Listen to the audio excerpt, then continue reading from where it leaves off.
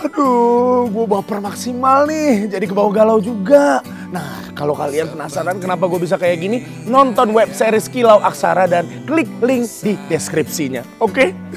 Baper.